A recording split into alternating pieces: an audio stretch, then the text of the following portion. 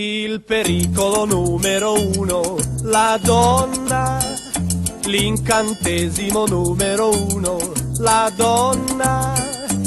Chi viene vinto da quell'incanto sospira mentre soffre tanto. Che ci vuoi far? Siamo nati per amare.